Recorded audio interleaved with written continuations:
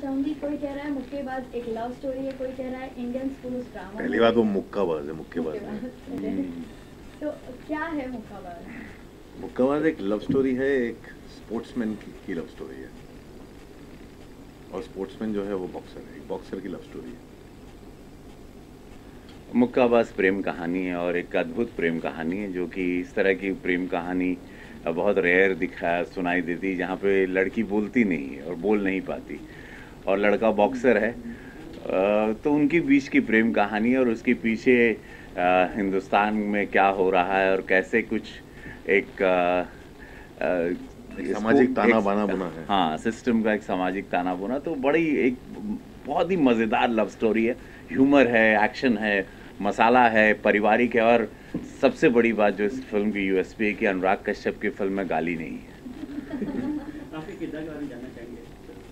मेरा किरदार इसमें थैंक्स टू हिम मेरा किरदार है, इसका नाम संजय कुमार है। ये बॉक्सर बनना चाहता था बॉक्सर था, लेकिन हालात ने सिचुएशन ने उसको बनने नहीं दिया। तो अपनी सारी पीड़ा और उतनी ज़िंदगी की जितनी ट्रेनिंग है, वो एक लड़के में, श्रवण में देखता है, जो विनीत सिंह है, और वो अपनी सारी चीज़ों को झोंक के, वो कि मैं जो नहीं बन पाया, मैं मुक्काबाज रहा तुझे मुक्काबाज बनना है या मुक्केबाज बनना है? तो मुझे तो लोग मुक्काबाज बोलते थे, एक तंज है जैसे कि देखो, आया मुक्काबाज, बड़ा आया मुक्काबाज।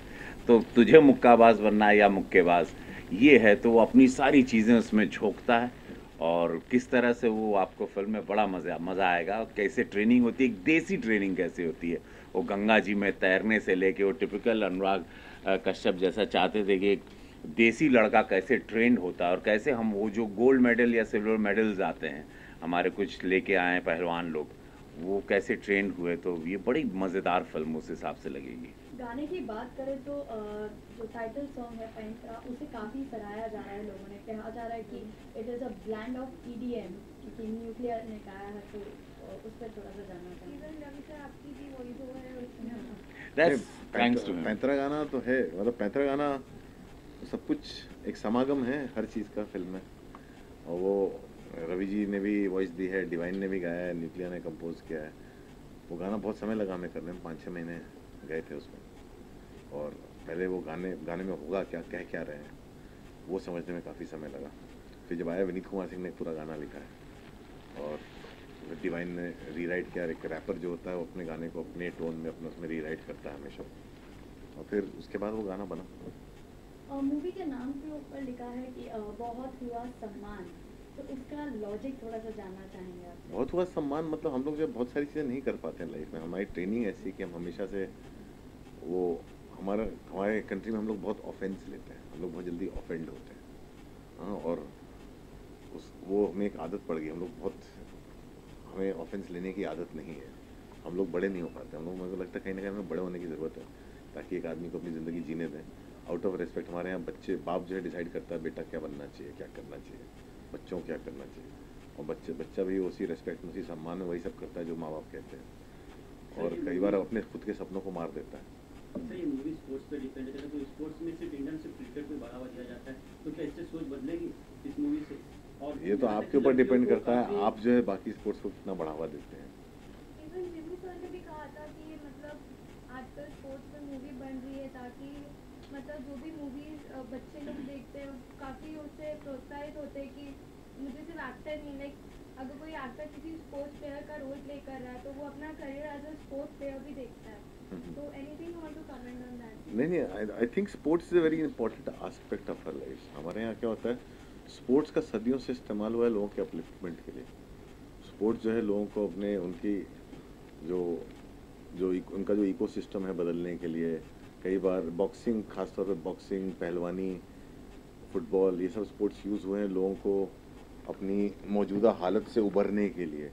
कई लोग, कई, आप बहुत सारे बॉक्सर्स के पास जानेंगे वेस्ट में। तो पहले वो, अगर उनको बॉक्सिंग नहीं होती, उनकी ज़िंदगी में तो शायद वो क्रिमिनल्स बन सकते थे। तो कई बार लोगों के रास्ते पे भटके ना, अपने गुस्से को चैनलाइज करने के लिए स्पोर्ट्स का इस्तेमाल होता रहा है। और स्पोर्ट्स काफ़ी समय से काफ़ी इग्नोर्ड रहा है। क्रिकेट इतना हावी है कि हमें बाकी सारे स्पोर्ट्स इग्नोर रहे हैं। और साइना नेहवाल और सिंधु की वजह से लोग बैडमिंटन पे ध्यान देने लग गए हैं। और इस तरह से जब कोई मेडल जीतता है, लेकिन जितने लोग जब मेडल जीतते हैं तो उन, वो उनकी जो काफ़ी जर्नी होती है, वो खुद ही होती है, खुद के पैशन से या किसी कोच के या किसी माँ बाप के पैशन से।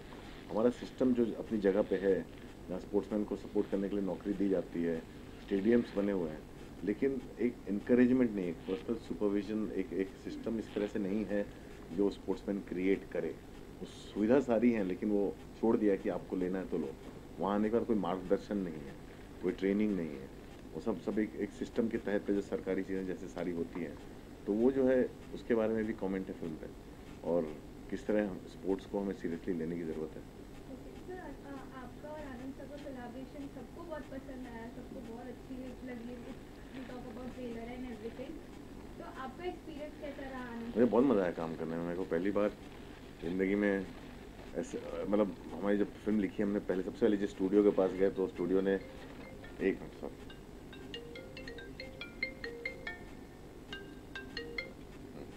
पहली बार जब हम, पहली बार जब हम फ़िल्म लेके गए एक स्टूडियो के पास तो स्टूडियो का पहला ये था, अरे स्क्रिप्ट तो बड़ी अच्छी है, इसमें कोई बड़ा स्टार ले सकते हैं क्या? उस तरह की चीज़ तो हम लोग वहाँ से हट गए।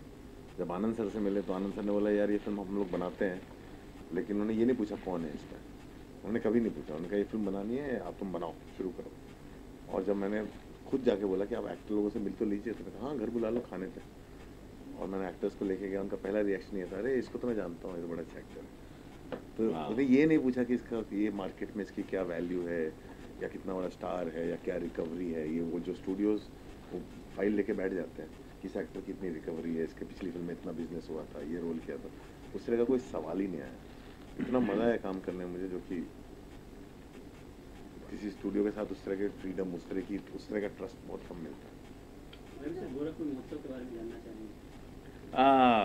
गोरखपुर महोत्सव में मैं जा रहा हूँ। मैं उस दिन परफॉर्म कर रहा हूँ। उस दिन पैथरा का ये डायलॉग भी वहाँ बोलूँगा। और बहुत बड़ा फेस्टिवल है ये। और पूरा उत्तर प्रदेश इंतज़ार कर रहा है और सब लोग चाह रहे हैं कि हम वहाँ पहुँचें। तो पहली बार मैं गोरखपुर की धरती पे पैतरा का की जो मेरी आवाज़ है वो पेश करूँगा बड़ी गए नहीं Uh, नहीं but never been to the festival या so that festival is very huge मैं तो दुनिया में आया था तो गोरखपुर में। Yeah. So no, this this festival is happening where I'm going to perform. पैतरा तो यस गोरखपुर आ रहा हूँ और आनंद आप लोग इंतज़ार करिएगा। बड़ा आनंद आएगा आप लोग बारह जैन को मूवी रिलीज़ हो रही है तो क्या एक्साइटमेंट और किस तरह का प्रेशर आ रहा कुछ नहीं एक्साइटमेंट है हम देखना चाहते हैं क्या होता है। हैं हाँ। तो है अगले महीने शुरू होगी शूटिंग अभी ये सब काम चल रहा है अभी मुक्कावा से निपट लें एक बार तो तेरह तारीख से मनमर्जिया में घुस जाएँगे हम लोग। हम सारे बस तो बहुत सारे हैं बस तो कुछ पाँच हज़ार एक्टर्स के नाम आ चुके हैं। मतलब हम लोग ऑफिशियल अनाउंसमेंट करेंगे तेरह तारीख को आपके जहन में कोई ऐसा लगे? मेरे जहन में बहुत चीज़ें होती हैं हमारे जहन में जो भी होता है वो होता नहीं है। मेरे जहन में तो ये भी था कि Bombay theatre sir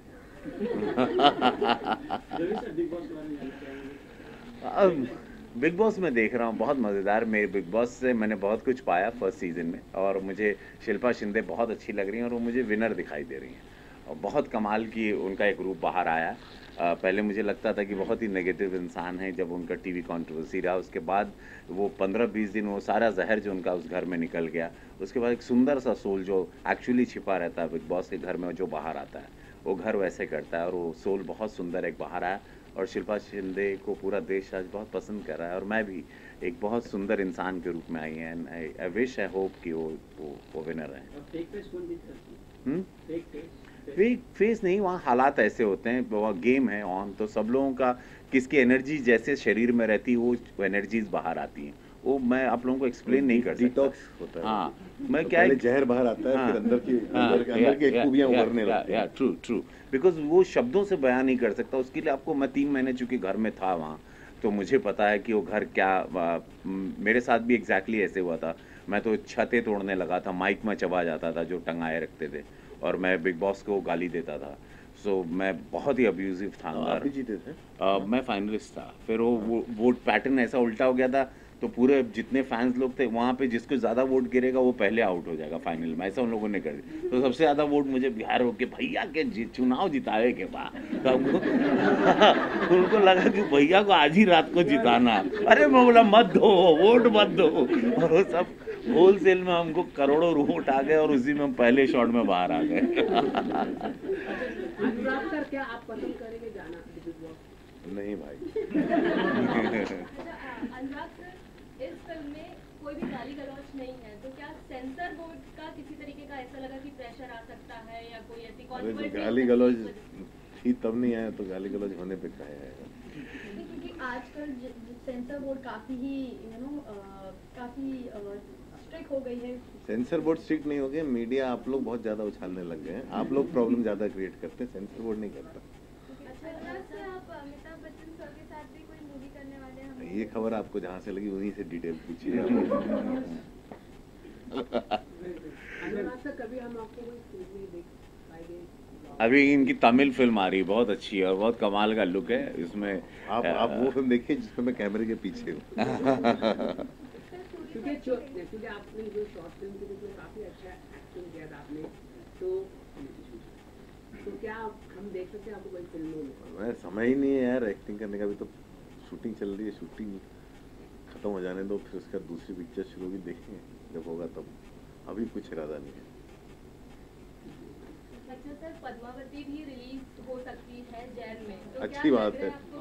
किसी तरीके का असर हो सकता है आपके फ़िल्म पे मुक्काबाज क्यों भाई अच्छी बात है पद्मावती रिलीज़ है हम लोग सब इंतज़ार कर रहे हैं मूवी उसका। और भी क्लैश रही आपके साथ में काला कांडी और 1921 वो क्लैश वैसा कुछ होता नहीं है आप लोग कहें ऐसी सब तो। सब पिक्चरें रिलीज़ हो रही हैं और सारी पिक्चरें अच्छी हैं सब पिक्चरें चलें भाई। सबको अपनी अपनी जगह मिले। ऐसा कुछ नहीं है यहाँ पे कि क्लैश हो रही है और उससे क्या इफ़ेक्ट होगी या क्या होगा। थैंक यू धन्यवाद